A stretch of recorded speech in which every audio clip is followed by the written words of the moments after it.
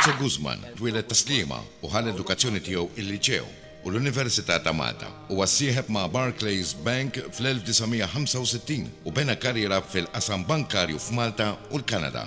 fejn mar joqgħod fl-1979. Waqt li kien il-Kanada, ġie promoss fil-kariga ta' manager u ħadem f'numru ta' banek. Guzman huwa xandar appassjonat. Huwa kien l-ewwel disk jockey li beda jinkludi kanzunetti bil-Malti fuq ir-radju u dejjem ħa interess biex jippromwovi kantanti Maltin. Fl-1968 huwa beda ma' Riddifusion. u fl-1980 beda jaħdem mal-Chin Radio and TV f'Toronto, il-Kanada. Huwa ġie lura ma' xandir Malta fl-1991 u mbagħad ħadem ma' diversi stazzjonijiet tar-radju fosthom Bay Radio, PBS, Super One, Radio 101, Net TV u Radju Calypso. Guzman beda jieħu sehem fil-festivals sa mill-1960, meta kellu biss tlettax-il sena. Huwa rebaħ numru ta' festivals, fosthom Canzoni d'Oggi, Festival della Canzone Napoletana, Malta Song Festival, Malta Folk Festival u l-Għanja tal-Poplu. Guzman rebaħ ukoll unuri oħra fosthom it-tieni post fl-Alexandria International Festival fl-Eġittu fl-1972, l-Aħjar Kantant fl-Olympiade de la Chanson fil-Greċja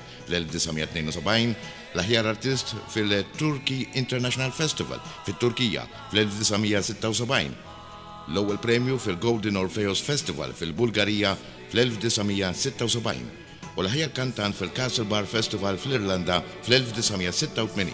Fost l-aktar kanzunetti popolari miktuba minnu stess insibu Fil-Pjazza tar-Raħal, Żeppu Grezz, Fis-Sewwa jew fid-Dnewwa, Żomm idejk fuqna, Għax għadni nħobbok, Telefonata mingħand il-Mulej, Illum il-festa tagħna u Agħtini pintora.